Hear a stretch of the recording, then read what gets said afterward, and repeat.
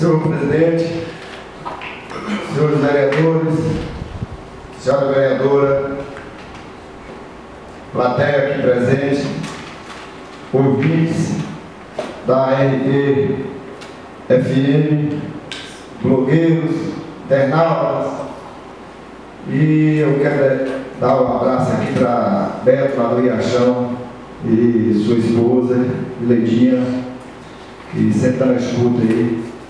E também eu quero parabenizar o amigo Sul, que hoje está completando mais idade nova e quero desejar muitos anos de vida e saúde, que você seja muito feliz, amigo. E vamos em frente, que a luta continua. E hoje também é um dia especial para mim e minha filha, porque minha filha Lívia, ela hoje também está completando idade nova, hoje é seu aniversário, e para mim esse dia é de muito orgulho por mais um ano de vida da minha querida filha, que vem aí sempre ao meu lado, me ajudando e contribuindo com comigo também na política, em todo sentido. E dizer a você, minha filha, seu pai ama e que você seja muito feliz e que realize todos os seus sonhos com você, sua filhinha, minha netinha e seu esposo, todos seus familiares. E eu quero iniciar minha fala dizendo o seguinte. Eu sempre tive cuidado de e a honra até que eu sei que meus filhos têm muita honra em mim. E orgulho do pai que tem. Porque é uma das coisas, quando a gente conversa, ele sempre diz que tem orgulho do pai que tem. Porque eu sou uma pessoa que sempre procurei viver com dignidade e respeito, respeitando as pessoas, e exige que as pessoas me respeitem. Porque eu saí daqui de Macajuba com dois filhos adolescentes, com ela e André, nós fomos para Salvador, trabalhamos, e quero dizer a vocês que nós conseguimos um espaço e até em cima de papelão dormir lá com meus filhos. Foi difícil, lutamos e conseguimos vencer na vida com dignidade. Não é porque no passado eu fui vereador aqui e fiz algumas denúncias e sempre lutei, combati as políticas desse PMDB do município, sempre combati a corrupção, a treta, as coisas erradas que eu sempre assisti aqui e fui moralmente lixado. Recebi um lixamento moral. Mas eu disse que eu voltaria aqui para dar a resposta e mostrar quem são os marginais da política de Macajuba. E eu, a semana passada, vim aqui falar de. E eu fui acusado pelo vereador Menor que eu tinha um processo contra mim de um compressor que foi pegado em minha casa. E eu quero dizer à sociedade que a política é feita aqui na mentira, na treta e na enganação, na corrupção. É o nível da política em Macajuba.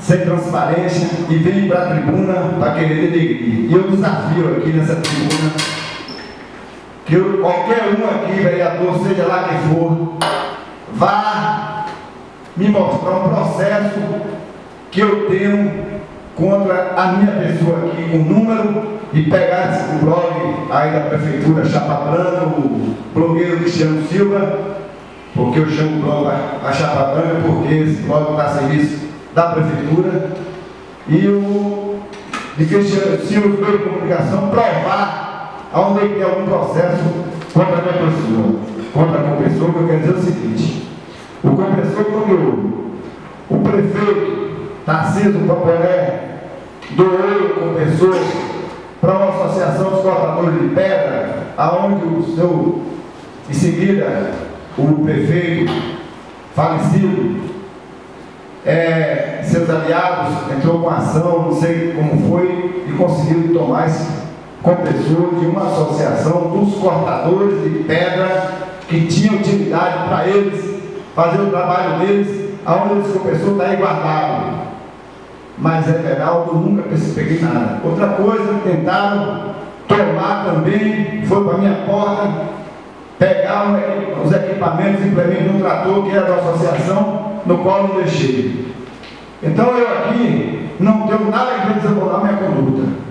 E não é vir para aqui para a tribuna falar, não. É provar. E outra coisa que eu queria deixar bem claro aqui também, isso é desafio, e venham procurando ver. O vereador Alisson aqui a semana passada também, quando a gente falou aqui da pessoa do, do futuro prefeito, Luciano Pamoné, eu me dirigi a ele, o vereador veio para aqui para denegrir a imagem de Luciano e dizer que Luciano tem vários processos, que é e aquilo. Eu procurei ver, Luciano é um jovem que, ingênuo, que pegou, fez uma folhinha e colocou a foto dele lá e foi considerado como uma propaganda antecipada, no qual teve esse, esse, esse, processo aí e foi tudo resolvido. Mas o mais que teve tem são denúncias sem provas, no qual essa denúncia repetiram muitas, muitas vezes aqui, e foi falado pelas ruas, no qual alguns repetiram essas denúncias, mas ele não tem nada que venha desaprovar a conduta dele. E seu Alisson, quando ele fala em negócio de corrupção, de coisa errada, eu queria até refrescar a cabeça do, do vereador Alisson Santana, que ficou um ano e meio a receber três salários ilegal da creche como vice, professor, que não prestava serviço, que deveria devolver esse dinheiro, porque ganhou na porta da igreja sem trabalhar. E também receber material, receber material telha, cimento, material de, é, de construção. E o próprio João Cinto aqui desafia que ele venha para aqui mostrar seus extratos bancários do ano 2013, onde entrou muito dinheiro na conta dele, que ele precisa provar isso. Não é que ele venha aqui para aqui, deleguei mais nos outros, aprontar o defeito dos outros, comendo sujo, joga pedra no telhado dos outros, no seu telhado de vidro. Então ninguém entra aqui querer ser santinho não. Porque eu jamais eu vou estar acusando ninguém sem provas. E todas as acusações que tiveram aí contra o Luciano, nenhum conseguiu provar nada. Acusações sem prova. Agora, o que acontece? Ganharam a eleição para a gente com 1.234 votos. Depois ganharam com 182. Agora tomaram a cacetada da gente de 1.560 e tantos votos. Já estão com medo? Porque agora não adianta. O povo está esperto, o povo está reagindo, eu disse e volto a dizer, o povo vai dar resposta e o povo agora está sabido, está usando rede social e está de todas as ações no município. Está acompanhando tudo. Vereador, se respondeu. Então não adianta vir aqui para querer denegrir minha imagem, imagem dos outros, com mentira. Venha, mas fale a verdade, fale do seu processo, dê um processo, dê tudo certinho. Não venha usar da sua imunidade parlamentar para denegrir a imagem das pessoas. Porque as pessoas tá aí, tá vendo, está assistindo. O grupo do PMDB sempre foi enterrado até o pescoço aqui da opção. Não é querer tirar seu defeito para jogar em cima dos outros, não. Então, como eu não mais nada para eu agradeço a todos e uma boa noite